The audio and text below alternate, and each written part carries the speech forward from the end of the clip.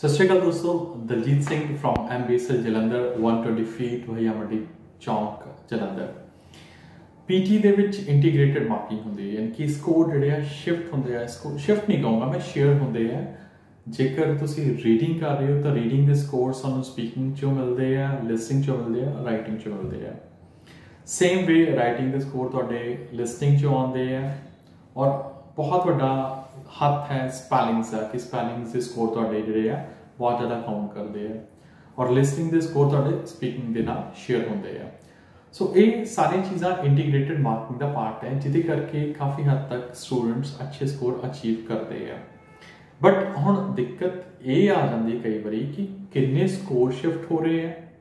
ਤੁਸੀਂ ਕੋਈ ਵੀ ਪਲੇਟਫਾਰਮ ਲੈ ਲਓ, ਕੋਈ ਵੀ ਲਾਈਕ ਤੁਸੀਂ ਸੌਫਟਵੇਅਰ ਜਿਹੜਾ ਵੀ ਤੁਸੀਂ ਪੀਟੀ ਦਾ ਚਲਾ ਰਹੇ ਹੋ, ਉਹਦੇ ਵਿੱਚ ਤੁਹਾਨੂੰ ਜਦੋਂ ਤੁਸੀਂ ਟੈਸਟ ਕਰਦੇ ਹੋ ਜਦੋਂ ਤੁਸੀਂ ਮੌਕ ਟੈਸਟ ਕਰਦੇ ਹੋ ਉਹਦੇ ਵਿੱਚ ਇੰਟੀਗ੍ਰੇਟਡ ਮਾਰਕਿੰਗ ਹੁੰਦੀ ਬਟ ਤੁਹਾਨੂੰ ਇਹ ਨਹੀਂ ਪਤਾ ਕਿ ਕਿੰਨੇ ਸਕੋਰ ਜਾ ਰਹੇ ਆ। ਮੀਨਸ ਜੇਕਰ ਸਪੀਕਿੰਗ ਤੁਸੀਂ ਕਰ ਰਹੇ ਹੋ ਸਪੀਕਿੰਗ ਦੇ ਕਿੰਨੇ ਸਕੋਰ ਲਿਸਨਿੰਗ ਦੇ ਵਿੱਚ ਜਾ ਰਹੇ ਆ।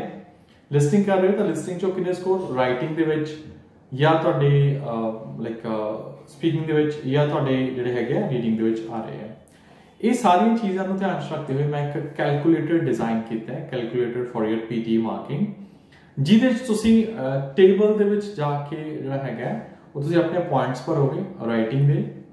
ਰਾਈਟਿੰਗ ਜਿੰਨੇ ਵੀ ਇੰਟੀਗ੍ਰੇਟਿਡ ਸਕਿੱਲਸ ਹੈ ਜਿੰਨੇ ਵੀ ਇੰਟੀਗ੍ਰੇਟਿਡ ਟਾਸਕ ਜਾਂ ਮੋਡਿਊਲਸ ਦੇ ਨਾਲ ਸ਼ੇਅਰਡ ਹੈ ਫॉर ਐਗਜ਼ਾਮਪਲ ਰਾਈਟਿੰਗ ਦੀ ਗੱਲ ਕਰਾਂ ਸਮਰਾਈਜ਼ ਰਿਟਨ ਟੈਕਸਟ ਐਸੇ ਦਾ ਹੈ ਹੀ ਹੈ। ਪਲੱਸ ਨਾਲ ਦੇ ਨਾਲ ਤੁਹਾਡੇ ਰਾਈਟਿੰਗ ਦੇ score reading writing fill in the blanks ਆ ਜਾਂਦੇ ਆ। ਫਿਰ ਉਸ ਤੋਂ ਬਾਅਦ ਵਿੱਚ ਤੁਹਾਡੇ ਕੋਲ fill listing fill in the blanks ਆ ਜਾਂਦੇ ਆ ਰਾਈਟ ਫਰਮ ਡਿਕਟੇਸ਼ਨ ਆ ਜਾਂਦੇ ਆ। ਇਹ ਸਾਰੇ ਦੇ ਸਾਰੇ ਤੁਸੀਂ ਆਪਣੇ ਮਾਰਕਸ ਫਿਲ ਕਰੋਗੇ ਔਰ ਤੁਹਾਨੂੰ ਐਕਚੁਅਲ ਦੇ ਵਿੱਚ ਇਹ ਕੈਲਕੂਲੇਟਰ ਦੱਸੇਗਾ ਕਿ ਤੁਹਾਡੇ ਸਕੋਰ ਕਿਸ ਤਰ੍ਹਾਂ ਜਿਹੜੇ ਆ, ਉਹ ਓਵਰਆਲ ਕੈਲਕੂਲੇਟ ਹੁੰਦੇ ਆ। ਇੱਕ ਛੋਟੀ ਐਗਜ਼ਾਮਪਲ ਦੇ ਨਾਲ ਮੈਂ ਵੀਡੀਓ ਇੱਕ ਹੋਰ ਅਟੈਚ ਕਰਨ ਜਾ ਰਿਹਾ, ਜਿਹਦੇ ਤੁਹਾਨੂੰ ਦੱਸੂਗਾ ਕਿ ਸਕੋਰ ਕਿਸ ਤਰ੍ਹਾਂ ਤੁਸੀਂ ਕੈਲਕੂਲੇਟ ਕਰ ਸਕਦੇ ਹੋ।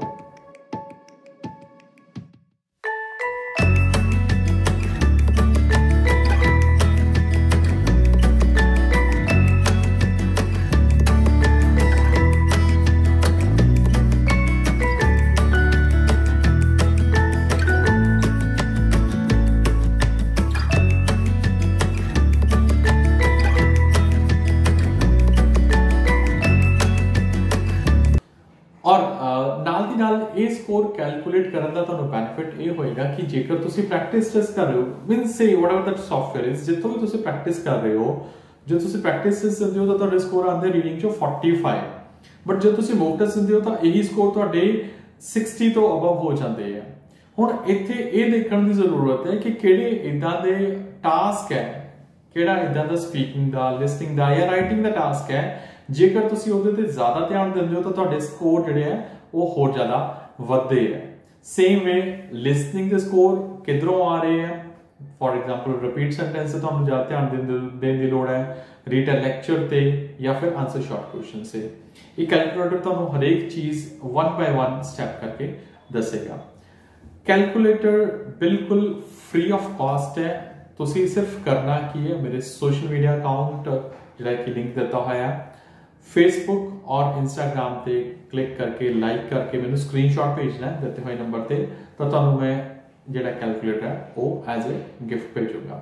ਸੋ ਸਿੰਪਲ ਸਟੈਪ ਚੱਕੋ ਆਪਣਾ ਫੋਨ ਇੰਸਟਾਗ੍ਰam ਔਰ ਫੇਸਬੁੱਕ ਦਾ ਪੇਜ ਲਾਈਕ ਕਰੋ ਸਕਰੀਨਸ਼ਾਟ ਭੇਜੋ ਮੈਨੂੰ ਔਰ ਮੈਂ ਤੁਹਾਨੂੰ ਦਾ ਕੈਲਕੂਲੇਟਰ ਸੈਂਡ ਕਰ ਦੂੰਗਾ।